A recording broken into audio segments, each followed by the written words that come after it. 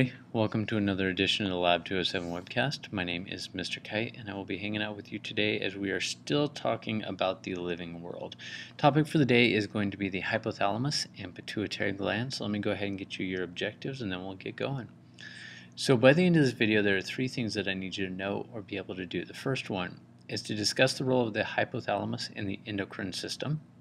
Second, understand the differences between the posterior and anterior pituitary glands. And finally, explain thyroid regulation pathway. So that's what we're doing. Let's go ahead and start talking about it, starting with the hypothalamus itself. Um, we're going to call it integration central today. As far as where it is located, if you look up in this brain that has been cut in half, it is right there. Pituitary gland, which we're going to be talking about quite a bit today, hangs off of it basic function of the hypothalamus is the hypothalamus receives cells from the or cells receives signals from the nervous system. So signals will come in they'll get processed in the brain or they will go directly to the hypothalamus. The hypothalamus then works on the endocrine system through the secretion of hormones or stimulation of the pituitary gland or something like that. So the hypothalamus is the point in our body that integrates our nervous system with an endocrine response and most of that regulation actually happens through the pituitary gland. The hypothalamus does secrete some stuff directly into the bloodstream, but most things are done using the pituitary, which is an extension of the hypothalamus. Uh, the pituitary gland has got a distinct posterior and anterior section. I'm going to talk about each one individually in a moment.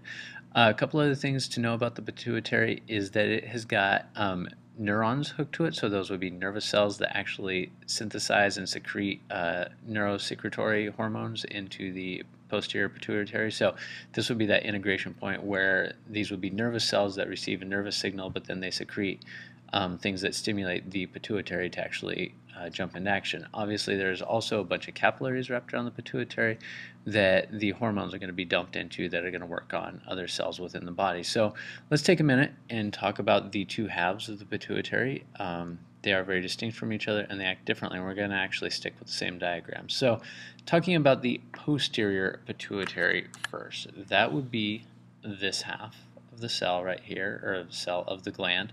Um, it is an extension of the hypothalamus, so it comes right off of it.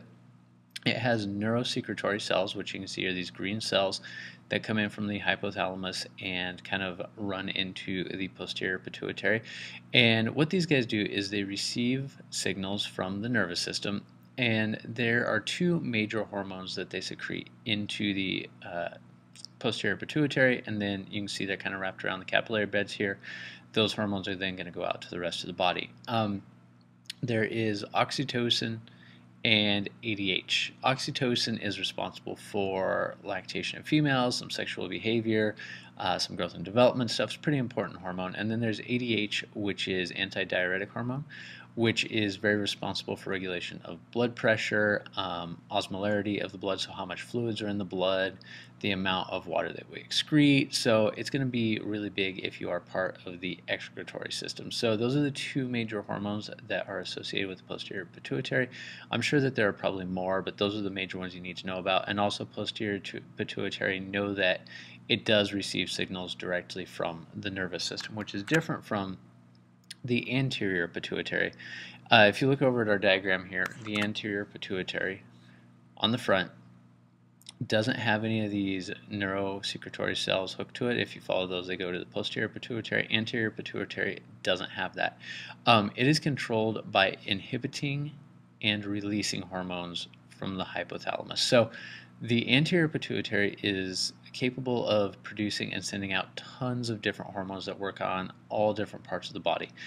Whether that anterior pituitary releases or doesn't release a hormone is up to the hypothalamus. And what the hypothalamus does is it will secrete, let's say, a releasing hormone. If the hypothalamus uh, secretes a releasing hormone, then whatever hormone that's associated with in the anterior pituitary will be released into the bloodstream. So let's say, and I'm just pulling this off the top of my head, it may not be accurate, so I'm saying that, but let's say that there's like a thyroid releasing hormone. So the hypothalamus would send out that hormone to the anterior pituitary, then the anterior pituitary would send out a hormone that works on the thyroid gland to actually stimulate it into an action. If the hypothalamus was to send out an inhibiting hormone, then it would cause the anterior pituitary to hold off the secretion of anything that would cause action in the body. So hypothalamus basically tells the anterior pituitary, send this hormone, don't send that hormone, and the hypothalamus does that by sending hormones itself. Now, in this idea of control within the endocrine system, it's all based on hormone cascades, which if you think back to when we were talking about signal transduction within a cell, this is kind of like a very big version of that. But instead of like one molecule working on the next, working on the next, we've got chemicals passing messages from one organ to the next to the next. So a general hormone cascade looks something like this. It goes from the brain, so uh, signal goes into the brain. Once the signal's into the brain, it stimulates the hypothalamus Hypothalamus then stimulates the anterior pituitary, which we just talked about. It will give it either an inhibiting or releasing hormone. Once that anterior pituitary has been stimulated, it will then send a hormone signal out to the target tissue, whatever the target tissue may be. It might be the adrenal glands, might be the testes, might be the thyroid, whatever. But there's this general pathway that goes from the brain, hypothalamus, anterior pituitary, then to the target tissue, and that's how most of the hormone signaling is going to end up getting done within the body. Speaking of one specific example of this, thyroid gland, which is right here in your neck, wraps around your trachea, is a pretty important uh, endocrine gland. It does a lot of things, controls metabolism, temperature regulation, uh, some growth stuff, your general level of activity. There's a lot that goes along with it. I want to talk very quickly about um, how it controls temperature. So basically what you get is a cascade. So the cold works on the body. That cold ends up stimulating the hypothalamus saying, hey, it's too cold, we need to speed up metabolism. Once the hypothalamus has been stimulated, it sends out a hormone signal to the anterior pituitary. And the anterior pituitary sends out a hormone called thyroid stimulating hormone, TSH. When that TSH gets to the thyroid, it causes the thyroid to secrete further hormones that result in increased metabolism. So body's metabolism rate goes up, you produce more heat, and then it works like a feedback loop. Um, it's the actually the TSH that shuts down the process. It's not the warming up of the body. So once enough TSH has collected in the thyroid gland, that shuts down the pathway.